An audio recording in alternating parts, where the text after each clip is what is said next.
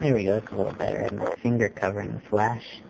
Um, now here, this uh, my read switch. Not a reed switch. I'm sorry. If it was a read switch, you would have uh, timing as an issue. So where you position this magnet, uh, sorry, not the magnet, but where you position this uh, switch, whether it's a read switch or a relay, makes a huge difference in RPM and torque.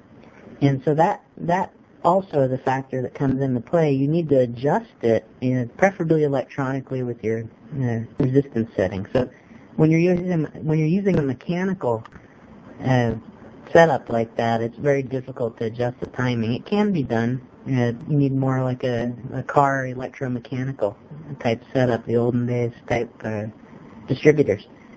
And uh, let's see, what else did I want to cover? Okay, so another uh, point I wanted to go over on this type of motor is if you look at the layout of the magnets here, we have eight ring magnets around the the, the rotor shaft. I'm sorry, the, the rotor, and that's not a very good layout because what happens is as you're you know you can drive it with just a single coil, and as you lay out your your pickup coils all around the the unit, you know, this is your drive and your self, this is your drive coil and your self-running coil. So what happens is the, you know, the drive coil will push, the other magnet comes in and runs your, your back coil, your back EMF. It's not, technically not back EMF, but as you drive it and push that coil, you're, you're creating your zero point right here. That's your, your magic is happening right there in the coil. Your core, uh, the type of core you use, you know, mu metal is actually much better. But if you use uh, silicon steel is a, a good bang for your buck. You'll get the most value and the most performance out of a silicon type steel rather than soft iron or ferrite. Now, so you have your eight uh, magnets here, and the major problem that comes up with these type of motors is, is this layout on the the radial layout of the magnets. Uh, what that does is it steals torque from the motor. Now, if you open up a ceiling fan motor or most uh, electric motors and you look at the way they're engineered, you'll find a lot better. There we go. Here's an example. You'll find, see how that, that magnet configuration is on this rotor? You have uh, torque created that way. And that's the way you want to lay out your magnets for a, a better type of Bedini uh, motor. And so what happens is, it, let me get that off. Yeah, you gotta be careful with these neomagnets. So anyway, you want to have uh, a better layout to your magnets here on this this type of assembly. Because what happens is as you start to draw power off this, this system, this mechanical system, power comes out, and so you're going to lose RPM. RPM will drop like that.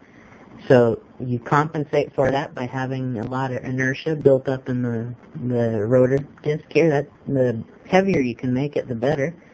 The second thing, you want to drive it with high uh, voltage and as many amps as you can get through that wire. It takes a little bit of engineering and uh, spreadsheet layout to figure out what you want to do there.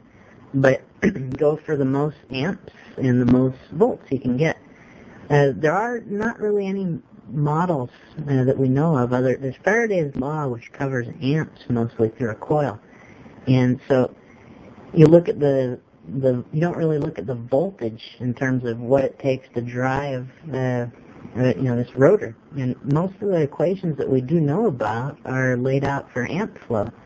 So that can make it kind of difficult because the you know you're just focusing on amps and not the volts. And when you're using thin wires and high voltage, low amps, you're not going to get the type of, of performance you need here.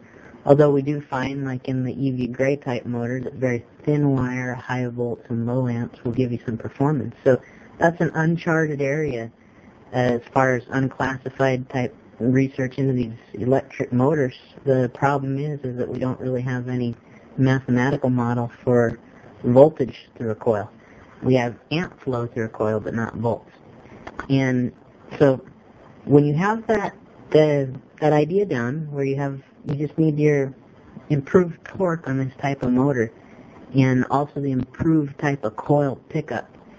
So the more efficient your coil is, and we'll talk about that a little bit later, but efficient coil and efficient torque creation off this motor, and that's how you improve these things to be much more high performance than they are. And uh, it's a good motor, it's a good system. Uh, they need to be more of a hybrid between the EV Gray type motor and the Bedini motor. And then you have something that, that's a lot nicer. The EV Gray motor, the problem with that is the, you know, spark and the, the, the rotor shaft, the way like Doug Konzen is driving in the spark through rollers and things like that. It's a little bit too electromechanical. And one of the problems you have with these, these layouts is that, uh, you know, you want to have them reliable. You want to try and use, uh, you know, as many solid state components as you can. You want to use some modern electronics. And the problem, the other problem with these things, and here's something to think about, is that you're ultimately limited by RPM. The number of magnets you put on will raise the, the, not the RPM, but the hertz that runs through the coil. And you're going to get much more power output, you know, when you spin this thing faster. Um, but remember, you don't have to spin these things at all. You can move over to solid state type components and just regular frequency generation through the coil. The motor itself is not the heart of the system. The Bedini layout with the the magnets and the and the rotor shaft. That's not. This is not the guts of it right here. It's everything is right here in the coil. So this is the heart of power generation, not this.